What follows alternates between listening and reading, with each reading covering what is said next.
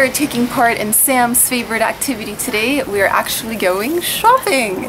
So we are visiting a place called Mercado Indio, which is like a local craft and artisans market. So we're just gonna pick up some souvenirs and see what we can find.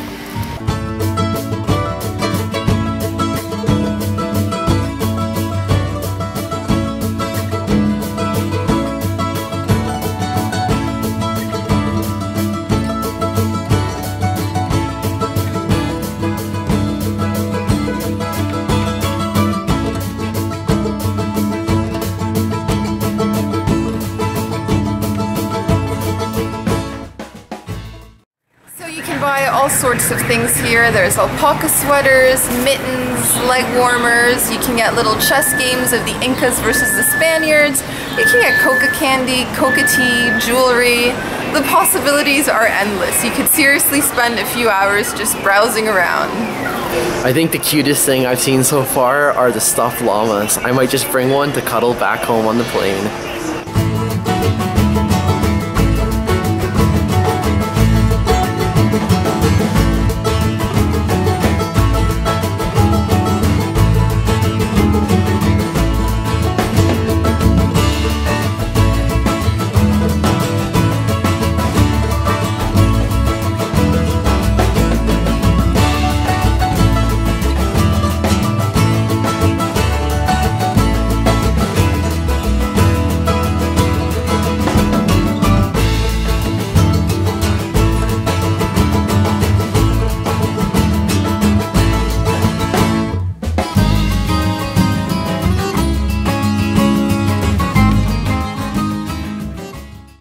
So someone's being a busy little shopper over here.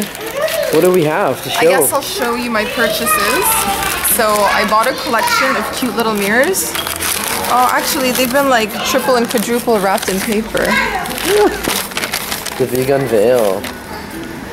Okay, so I got a collection of three different mirrors. I think they're really cute. You can put them up on a wall. So yeah, I got some of those. I also got some coca candy and some coca tea. And we're gonna shop a little bit more and see what we can buy, right? So I've got coca candy and coca tea over here. And when I was visiting Machu Picchu five years ago, this tea right here helped me to acclimatize to the altitude.